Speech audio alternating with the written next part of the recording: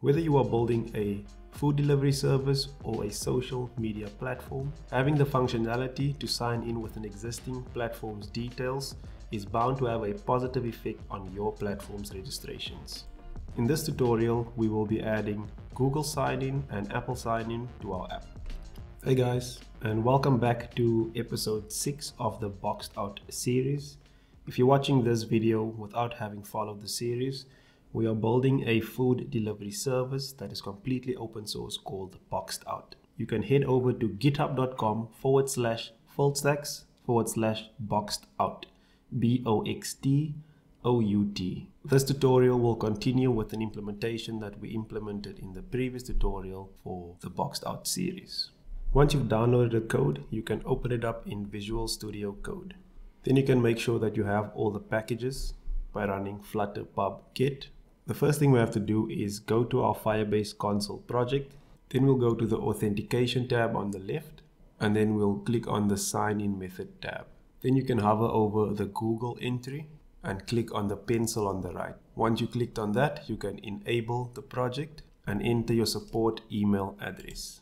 That's all the setup we need to add this into our mobile app for you to be able to deploy Google Sign-In to a device, you need to provide your SHA-1 hash for the keys that will be signing the builds you are testing. Usually you'll have two keys during development for the functionality, debug and your release key. Your debug key can be found in your .android folder. We can use the key tool to list the values using the following command.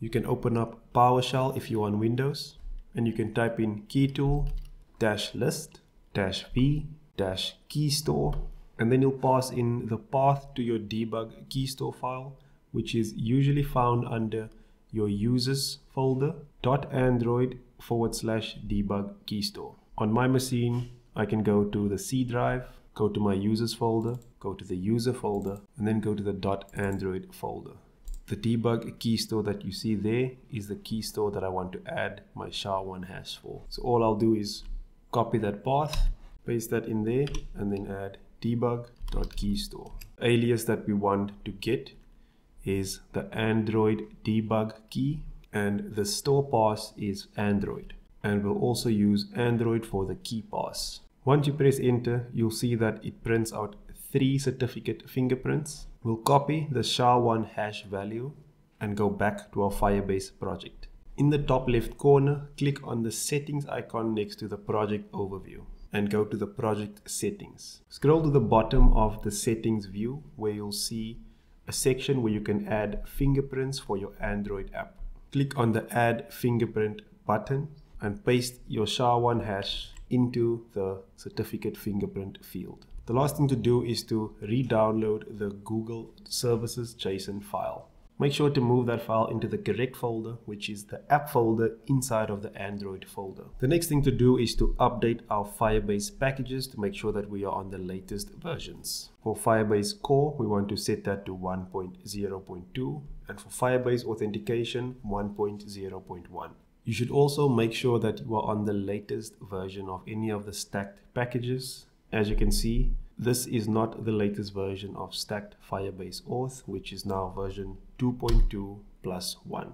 Then we can rerun flutter pub get and then we can finally move on to the actual code implementation. Since the login and the sign up form both have the single sign on UI, we'll add the functionality into the shared widget that we've built as well as the shared base view model. We'll start off with the logic so you can open up the authentication view model. Here we'll import the Firebase authentication service and expose two functions that perform the logins for Google and for Apple. Since all the authentication flows will be handled exactly the same way, we'll create a private function first that will handle the authentication response. And once we have that private function, we will just use that in the two functions that we're going to create for Google sign-in and Apple sign-in.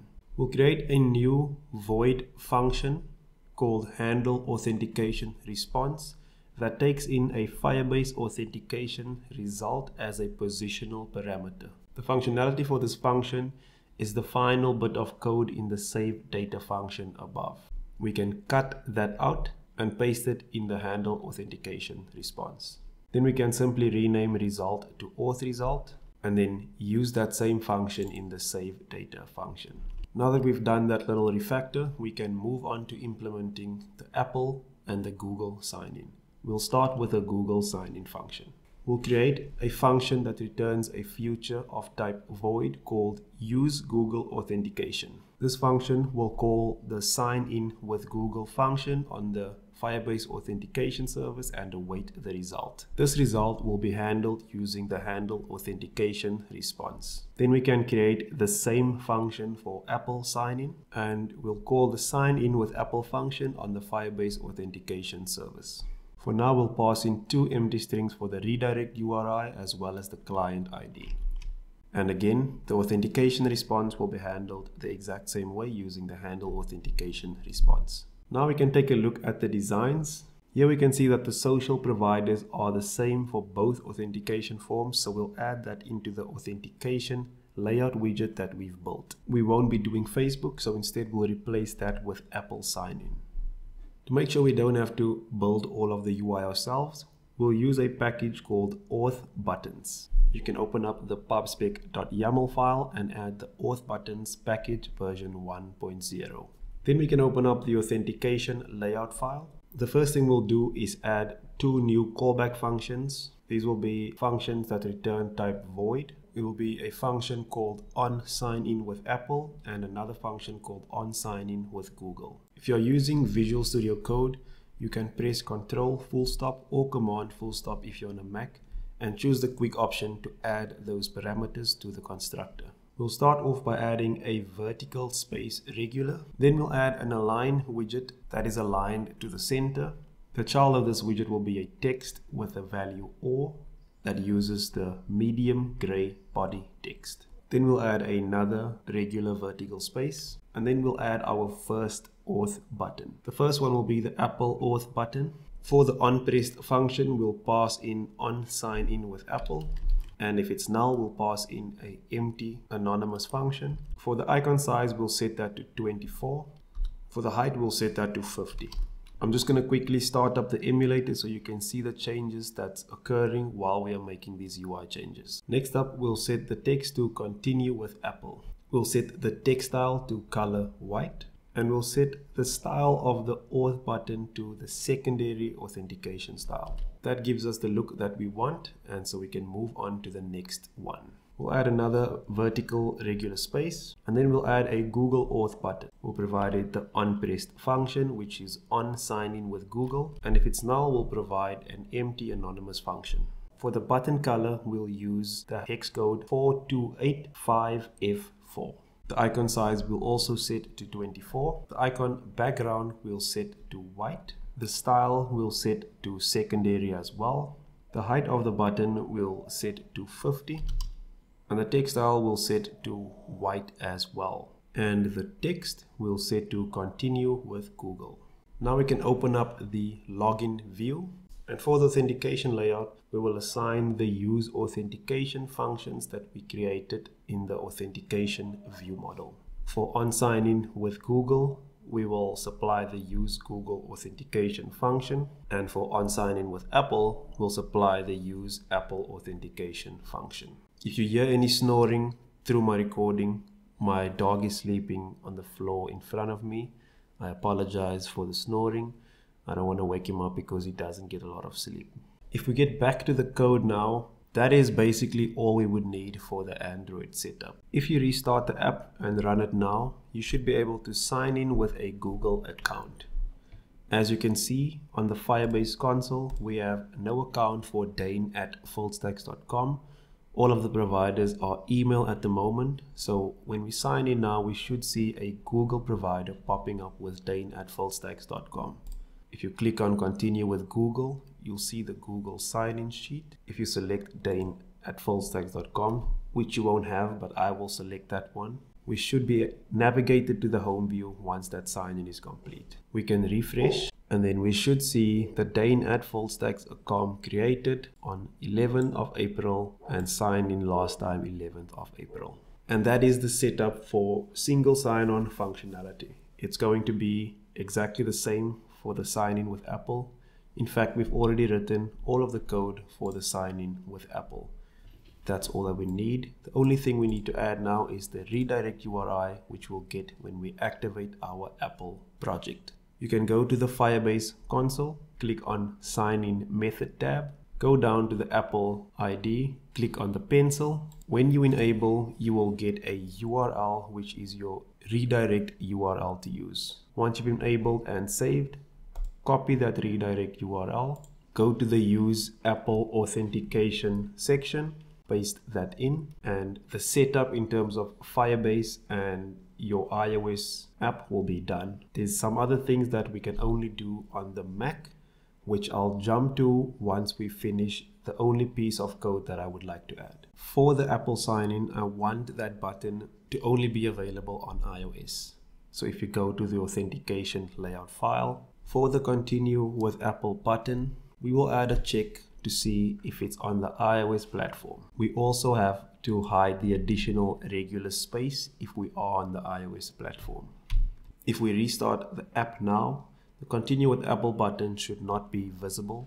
The next few things is a lot of configuration and there's no code that we have to change for anything in order for the Apple sign-in functionality to work. Unfortunately, right now, I can't record on my Mac. I have a 2015 MacBook Pro, which is very powerful, but it's quite hot here by us. And it sounds weird, but the laptop is extremely slow when it's hot outside. So I'm gonna go through the configuration steps, which I've written in the written tutorial that I followed for this actual video. And I know it works because I did it just before I started the video. For the configuration, you're going to go over to developer.apple.com. You're going to enable sign in with Apple for your identifier. For us, that's com.filledstacks.boxtout. In the Firebase console, you're going to do what we just did, which is you open up the authentication view, go to the sign in methods and enable Apple sign in. Then you copy that URL and paste that inside of your Apple redirect URI. Then you have to open your project in Xcode and update your minimum deployment target to 10. Then you go to the signing and capabilities and add sign in with Apple capability. Then all you have to do is run Flutter pubget again and then run the app. After that, sign in with Apple will work on a device if you have your provisioning profile set up. If you are testing this on an emulator, there is known bugs where it hangs on the Apple sign-in sheet, but it's a good sign of faith that the sign-in sheet pops up in the first place because that means on a device you will get the real responses that's required.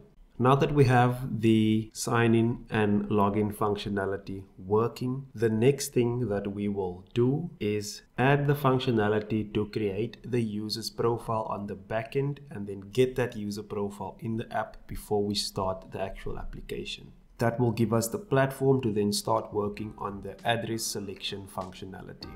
Thank you guys for watching. I will be back to doing weekly videos for BoxtOut. I'm hoping to put out the video on Thursdays, but if the tutorial takes too long to write, then I will have to put it out on a Sunday. I appreciate all of the subscribers.